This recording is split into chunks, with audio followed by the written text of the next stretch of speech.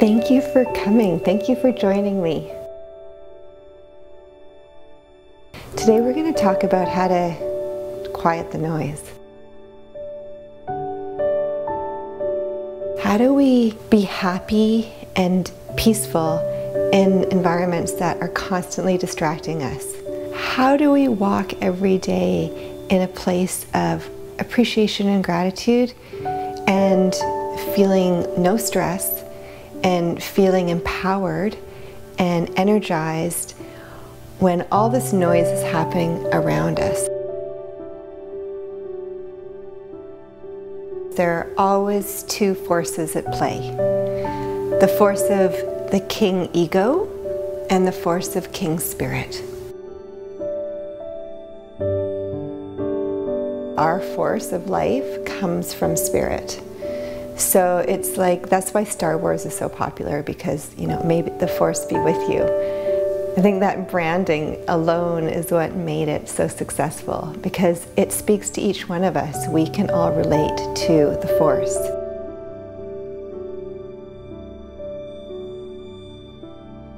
We don't always recognize it or tune into it, but that is the key to quiet the noise. So, how do we do that?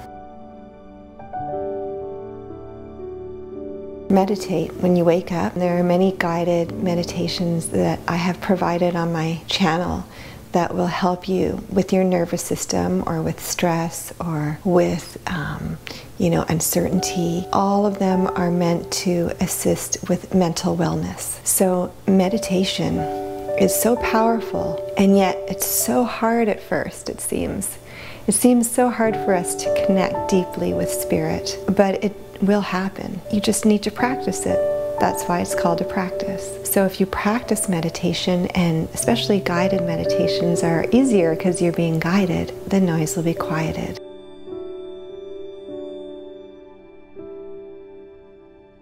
Take a moment to go into your heart because we always want to come from our mind. But you see, the ego operates the mind and spirit is spoken through the heart. So when you can wake up in the morning and tune into your heart, that is the well of knowledge of what is truly going to give you inner peace and success in this lifetime.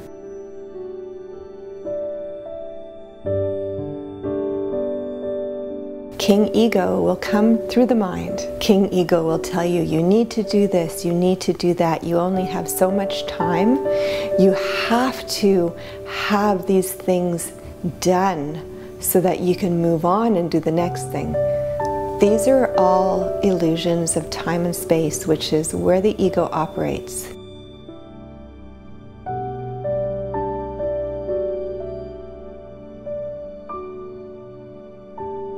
We need to be in the mind, we need to be in activity to operate in this environment, in this paradigm. But we can also come in and out regularly, meaning come in and out of the noise.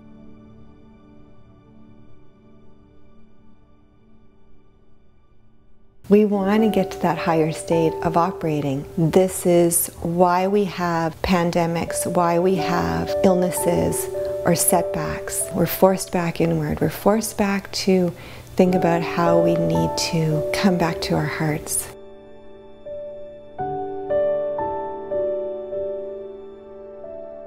When a child is born, the child is completely one with the universe in the heart space. The infant will communicate through the heart of the universe, through the entirety of all that is because the infant is only aware of that heart communication.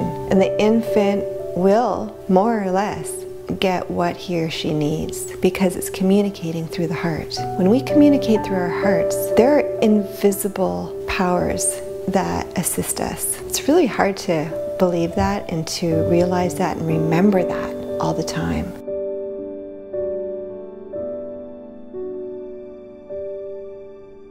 We can even summon these invisible powers. We can summon masters. We can summon saints, Jesus, Yogananda, Babaji, Krishna. We can summon whoever we connect with on a spiritual level. We can summon these energies to guide us and to speak to us and to clear the way for us. We have so much power.